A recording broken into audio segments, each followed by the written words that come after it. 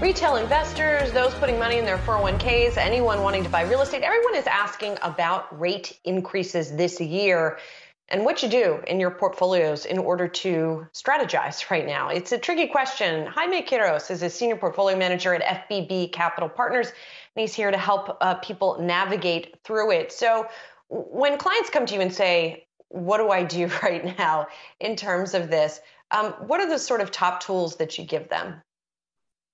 That's a great question. it, is a hot topic right now. I get various uh, calls or inquiries about it.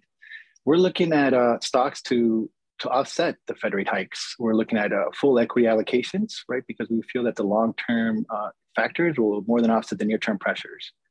We're, we're looking at uh, trimming those high uh, evalu- evaluated names or expensive valuations and or the large weightings that have run up in the in the portfolio and using those proceeds to to add uh, possibly to some of that fixed income when the rates do go up um, and then finally, we're adding to uh, attractive valuations. The volatility recently in the markets has uh, given some uh, opportunities, and we're looking to take advantage of those. And, and it's interesting, Jaime, as well, because you're you looking at the ISM numbers, manufacturing surveys in particular, as potentially rolling over a little bit as we get further into the year. And so, what kind of implications will that have, and how can people be sort of defensive if that's if that's happening? Yeah, again, just uh, trimming trimming those names that run high and staying within targets. And if you're looking to add into the equity space, right, you're looking at um, defensive names, staples, um, so that if that does happen when the when in terms of the manufacturing does cool off, then you're you're kind of protecting the portfolio. When when clients or potential clients come to you right now, what's the biggest investing mistake you see them making?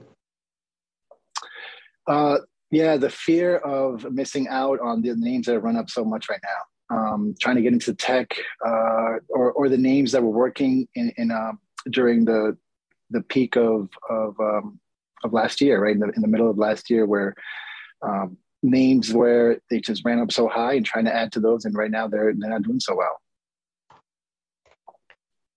And and are you also talking to people about sort of alternative assets in this environment?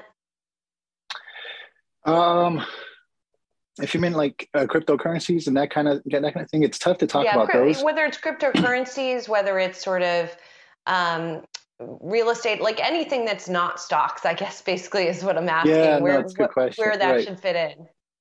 Yeah, well, we favor stocks more because of the dividends they pay and the growth aspects of it. Uh, when it comes to commodities, it's tough, right? Right, right now they are going up, but um, we've it's been volatile over the summer.